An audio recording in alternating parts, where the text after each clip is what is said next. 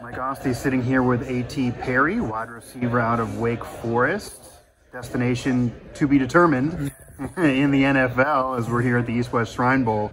So, A.T., what's this experience been like you for you so far, and how has it helped you realize the player you are? Because now you're able to kind of grade yourself amongst many of your peers, but also many more of your peers that maybe you weren't as familiar with, and also hear from NFL scouts and coaches? Um, it's kind of it's different. Um, you know, just being able to. Uh, well, I would say it's different in the same. Um, you know, just different with the whole process and stuff like that. Uh, it's just the interviews and meetings.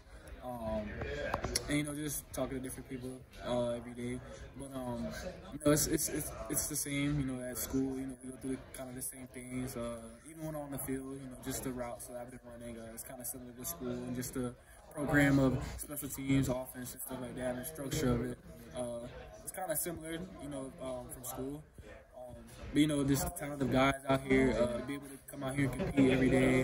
Uh, it's been fun. Um, these past two days have been fun just being out there again and showing the scouts what I can do. In terms of an attribute, what do you think you bring to the table maybe that could set you apart? Because you look you up and you look at these numbers. Obviously, you're putting some big numbers up, but some of these guys are as well. But what what sets you apart? Um, I would honestly say that I'm different. Like you see a lot of tall guys that. Uh, you know, some of these, some of the guys have talked about me and they said I could do this and that. Well, yeah, some guys, some tall guys that can't do what I can do. You know what I'm saying? Like, um, be able to bend, uh, get in and out of breaks, be able to sink my hips, and uh, you know just my releases and stuff at the line. You know, just the little things. Um, you know, I've been told my whole life that uh, uh, you know play big, you know play tall.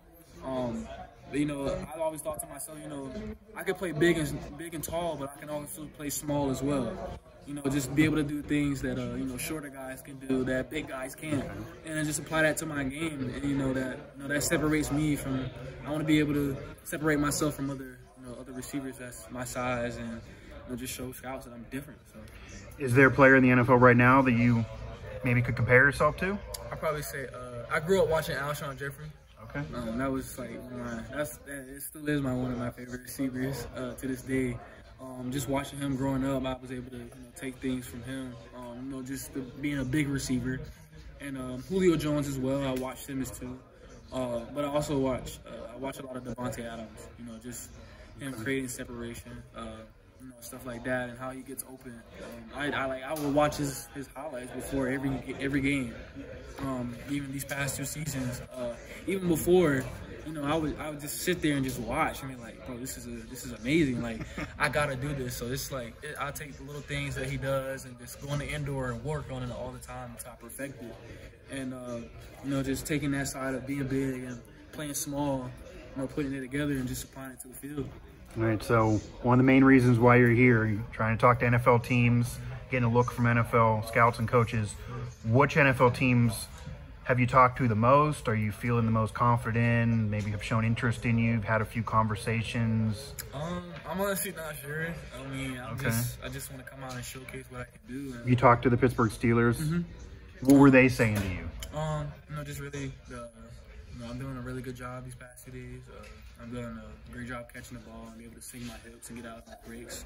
Um, that kind of, that that sort of thing. Um, not very much, but uh, you know, just really just talking to them, really getting to know them, they get really getting to know who I am as a person, and uh, you know how can I contribute to their to their uh, to their program and stuff like that. Um, you know, it's been it's been great. It's been a great process to be able to you know talk to these scouts and really get feedback on what what are the things I, I'm good at. And also the things that I need to work on too. You know, I've talked to some scouts on the field. Uh, they're giving me advice on like different things that I should I should do. You know what I'm saying to uh, you know get open, catch the football. Well, you're being an ACC guy. Mm -hmm do you know Kenny Pickett at all? Do you talk to him at all? And how do you think maybe his game and your game could work together? How the Steelers work offensively and what they do? Um, have any thoughts on that? Honestly, I don't. I don't know Kenny Pickett, but uh, we played against him in the ACC championship in 21. Right. So I got to see what kind of player he is. Um, you know, he's a, he's a great quarterback. You know what I'm saying? He's different. Um, I haven't seen a you know, quarterback had to do some of the things that he done. Uh, you know, with the slide, a little fake slide he scored on. Uh, that's say. different. You know what I'm saying? I've never seen that before, but um, you might not like it as much as uh, as um, he does. You know, but you know, I'll, I'll be willing to talk to him and you know just be able to learn from him and then learn the system as well. You know what I'm saying? Just with you know how they run different routes. You know, just timing of everything, not being too late, uh, not being too early, not going fast or too slow. Um, and that, that'd be that'd be great, you know, just to work with a with a player like him. Um, you know, just with playing against him uh, an ACC championship two years ago. So. What what NFL players have you talked to? Do you have a relationship with any NFL players that are Oh, giving you actually- advice, whether they be you know Wake alums or just in general in the league? Um, yeah, I've talked to some players. Uh, you know, some of the Wake alums that play in the league right now, like Greg Dortch. You know, I still keep up with him and stuff like that. Uh, Kendall, uh, um, he's saying, you know, Justin Strnad, Justin Ron, those guys like that. Um, one legend, guru that I've been, uh, you know, with talking to is uh, Anquan Boldin. Um, you know, just just learning from him. You know, just playing receiver and being a physical receiver, as well as doing some board work. You know, learning different coverages and then going through different passing plays. Of like, you know, just being a QB in the room. Honestly, just knowing like where the ball should go there uh, versus this coverage. Uh, you know, how many. Uh, you know, like the steps of uh, receivers and stuff like that, and if this will work or if that will work. You know, just looking at it from a QB standpoint, like I said, and um, you know, just learning. Honestly, just getting life advice, uh, football advice, um, just stuff like that. Okay, just a couple more. Number one, how are you yourself preparing and planning for the NFL draft? Because now you're away from a college program. After this is over, you'll again have some time to yourself. What are you doing when it's just you that's in, in charge of you to get ready to Honestly, just be consistent with the things I've been working on, um, and then get better at the things that I need to work on. You know, just I know a lot of scouts have been asking about speed, so you know that's one of the things I've been working on this off season. Um, you know, just keeping in tight with catching the football, uh, working on releases, making sure that I'm getting in and out of my breaks, uh, making sure that I'm sinking my hips, you know, be able to change direction. Uh, just those little things and just being consistent with it and just growing as a player off the field, uh, mentally and physically. Um, you know what I'm saying? Just doing the right things. Now you put up numbers that are wide receiver one numbers, but there's no guarantee you'll be put on an NFL roster that'll let you be a wide receiver one right away. So mm-hmm. we talked about the Steelers in particular. They just drafted George Pickens, had Calvin Austin who got hurt last year, but he also was drafted. Diontae Johnson's still there. Pat Freiermuth the tight end, but he's there as a pass catcher. Najee there.